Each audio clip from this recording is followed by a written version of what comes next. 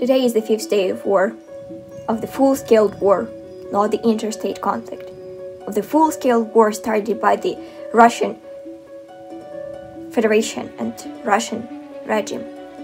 а с националистическими формированиями, которые, как известно, и несут прямую ответственность за геноцид на Донбассе и кровь мирных граждан народных республик.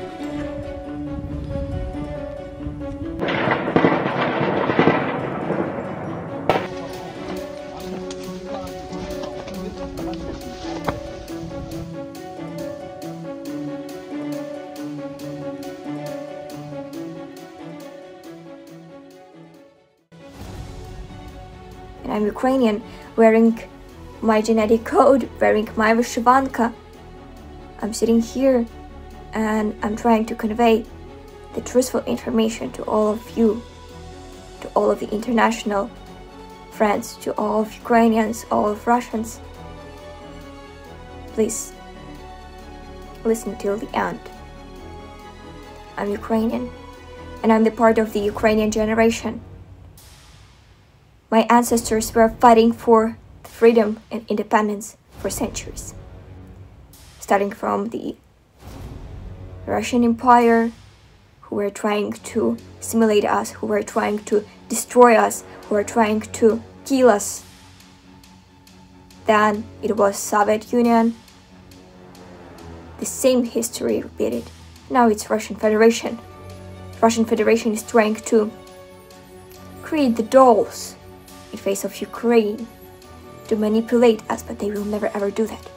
Because Ukrainians value freedom, Ukrainians really value independence, and we have something inside of our hearts that will never ever die.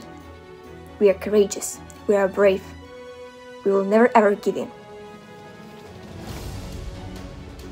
Today, I, I would like to state that war is not something that is said in words. It is happening right here in Ukraine, and lots of boys are dying, lots of fathers are dying, husbands, children are crying, mothers are crying. My beloved Ukraine is crying. I don't want that war to happen. That's why I'm reaching out to all of you guys. Russia is leading not only the real drastic war, but also the informational, the cyber war. So, so please, read the verified sources, read the truthful information, share that truthful information, and donate. Raise money for Ukrainian army, soldiers, help us. Help to save lives of our fathers, of our husbands, of our sons, boys. Don't let Russian dictator to win this war. I know we will win.